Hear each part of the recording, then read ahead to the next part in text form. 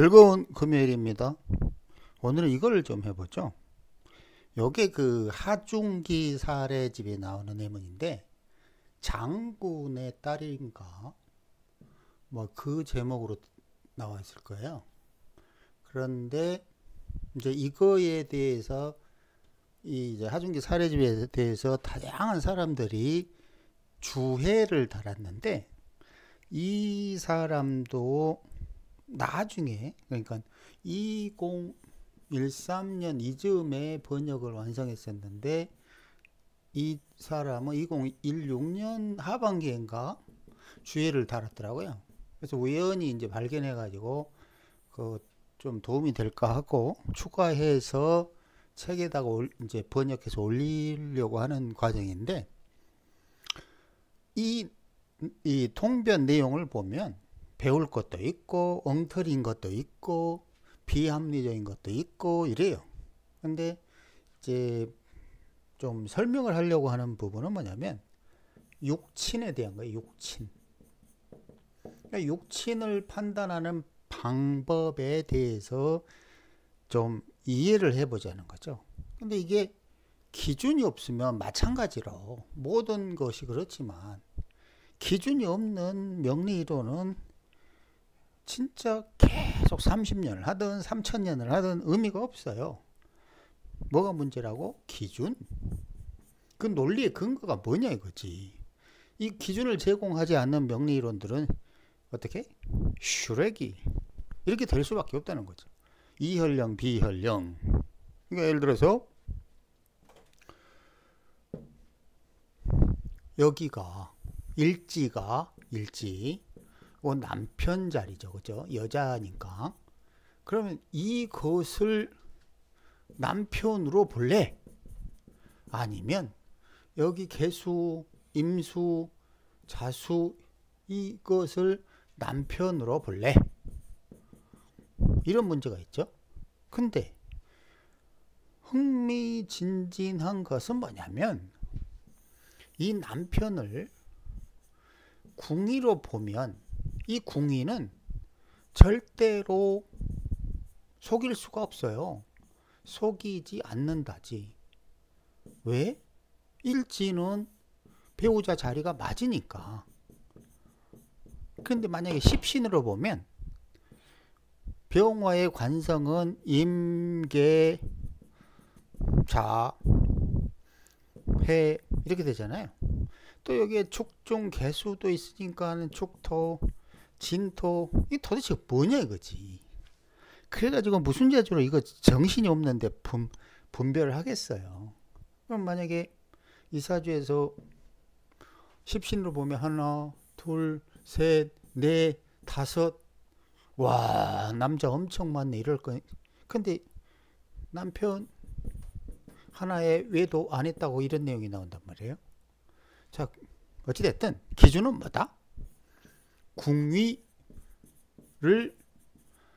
기준으로 한다. 그런데 믿업 그러니까 좀 부족한가 싶으면 십시는 보조해라, 참조해라. 그러니까 이 구조에서 남편은 분명하게 진토다. 그리고 이 진토 외에 나머지 이런习관들은 아 참조해라. 남편의 궁리를 남편의 동태를 살필 때 참조해라 이거지. 참조. 근데 이 구조에서 이 사람이 설명한 부분은 남편 부분이 아니라 부친에 대한 부분이에요. 부친. 뭐라고 설명했냐면 좋은 부친을 만나서 성장하였고 부친은 공직자요. 이게 이제 하, 하, 선생이 이제 이런 통변을 했단 말이에요. 부친은 공직자요. 그렇다면 이 사람이 어떤 식으로 해석을 하냐면 월주가 월주가 요 개묘 요것이 부모궁이니? 부모궁 개수는 붙인 모목 묘목은 모친. 이걸 기준으로 하는 거예요. 물론 거기에 관성이 통근 한해 만에 이런 걸 따지고 있으니까 이제 꽝인데 이 개수가 개수의 궁의가 분명하게 명백하게도 붙인 왜냐하면 나를 생산하는 월지 묘목을 위에 있는 대상이니까 부친이 맞죠? 그죠? 부모. 공이가 부모 공이니까. 그렇다면 병 개묘 이렇게 됐을 때 보통 십신으로 그 육친을 배운 사람들은 이해가 안 가는 거, 안 가겠죠. 이게 월인데, 그리고 이게 개수는 정관, 그러니까는 어? 그리고 여기는 뭐 묘목은 정인, 그러니까 아 이건 모친 맞네. 이러다가 정관 이거는 아들인가 딸인가 이렇게 생각을 하겠죠. 근데 궁의로 보면 월이라는 궁으로 보면 당연히 나를 만들어내는 모친이 월치고 이 모친에게 에너지를 방사하는 것이 당연히 부친이죠. 그죠? 그럼 부친과 모친이 나를 만들었단 말이에요. 근데 십신으로는 정관, 정인 이렇게 되니까 헷갈린다는 거지. 하지만 적어도 십신으로 볼 게 아니라 흔들리지 않는 기준점인 궁위로 육친을 살피라는 거죠. 월간은 부, 부친 이건 절대로 흔들리지 않는 이치예요. 근데 만약에 이 십신으로 이 구조에서 부친을 말하는 편제를 찾으면 음, 원래 없어요. 그죠? 경금도 없고 신금도 없고 그죠? 그럼 부친이 없는 거야? 근데 이상하게 하 선생은 부친은 공직자요 이렇게 했단 말이에요. 근데 이걸 이제 그 해석하기를 부친이 뭐 통군하고 어쩌고 저쩌고 막 이래가지고 조, 좋다는 식으로 몰아가는데 그게 아니라 잘 봐봐요. 여기서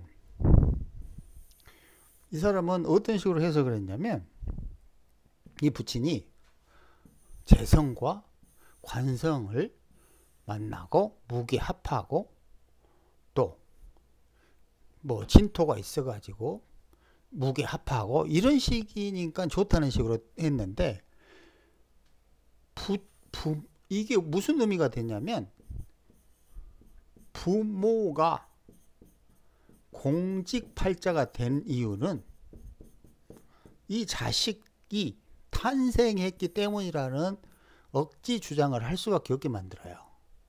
무슨 말이냐면 연월에 이미 정해진 운명, 숙명은 일간이 병화이든 무엇이든 상관없이 이미 붙이는 공직자였다는 거지. 공직자를 하다가 딸이 나왔으니까 여전히 공직자를 할 수도 있고 딸이 나와서 영향을 미치니까 갑자기 공직하다가 그만두고 장사를 혹은 사업을 할 수는 있어도 적어도 그 딸이 나오기 전까지는 이미 부모의 동태는 결정돼 있고 자식이 나온다고 해서 그 부모가 갑자기 공직자에서 장사 사업으로 바뀌는 건 아니라는 거죠. 근데 여기서 개수를 기준으로 부친을 살피면서 이 병화와 무토가 재관으로 무게 합하니 부친이 공직자다. 이런 식으로 분석하면 안 된다는 거지. 자, 그렇다면 어떻게 부친이 공직자인 거를 살펴야 되는데요? 라고 한다면 당연히 이민 개묘 요게 연 월이죠. 그죠? 그럼 적어도 이민 아니 임진개묘 sorry 임진개묘에서 부친이 공직자 일 수밖에 없는 의미가 숨어 있다고 봐야 되는 거예요. 왜냐하면 자 우리가 학습하는 과정에 계면은 사계도에서 을계무 그죠? 을계무 을계무로 뭐라고 그랬죠? 교육 공직 그죠? 시공학 공부한 사람들은 이거 다 이해하잖아요. 좀 다시 정리를 해봅시다. 자, 임진, 개묘. 있는데, 개묘는 봄에 을개무. 그래서 묘진 4월에 새싹의 성장을 촉진하니 교육 공직이라고 수도 없이 이야기해 왔죠. 그죠? 거기에 이 부친의 입장에서 월지 시공을 보니 묘월이네 묘 아니 진월이네 그럼 여전히 요 진토는 여기 봄에 을개무 삼자조합을 할 수 있는 진월 시공간이 시공간이 혹은 시절이 굉장히 적절한 상태죠. 그죠? 그러니까 여기는 정확하게 개수는 을개무 삼자조합을 이루고 봄에는 뭐가 필요 없다고 그랬어요? 신경력 따질 게 아니라 금기 따질 게 아니라 개수는 묘목에서 극도로 왕하게 자신의 발산 에너지를 사정 없이 폭발시켜서 묘목의 성장을 촉진하는 뒤이 개수의 부친의 월지 시공을 보니 진오리라. 그럼 진오리 뭐가 필요하다고 그랬죠? 수기요. 그죠? 수기 필요하다고 그랬잖아. 그럼 임수가 진토에 수기 채워지잖아. 좋네. 개, 임수가 개수에게 그 수기를 공급하면서 개수가 계속 발산 작용을 계속 할 수 있, 계속해서 묘목의 성장을 촉진하도록 도와주는 거잖아.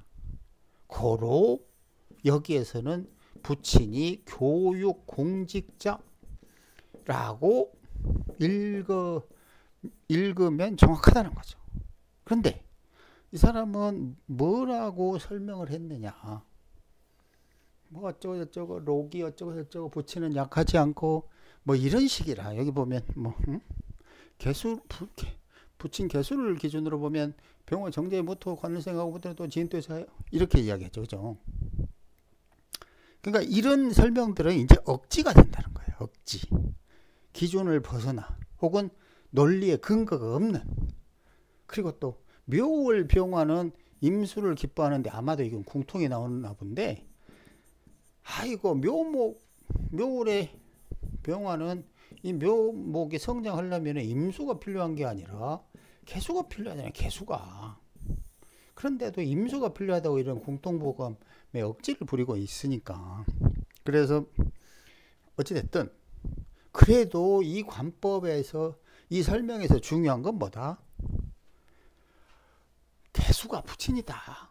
이 궁위는 십신에 우선한다. 여기에 사주팔자에 편제가 없으니 부친이 없다고 본다는 그런 황당한 설명을 하면 안 된다. 생각을 하면 안 된다. 이 육친은 절대로 없을 수가 없다. 물론 여기에 시주는 혹은 배우자는 없을 수도 있죠. 하지만 임진, 개묘, 병 여기까지 흐르는 과정의 육친들은 분명하게 존재하고 없을 수가 없어요. 저부, 저모, 부모, 그리고 나. 이건 다 존재하잖아. 그리고 여기 묘목, 여기 형제공. 그죠?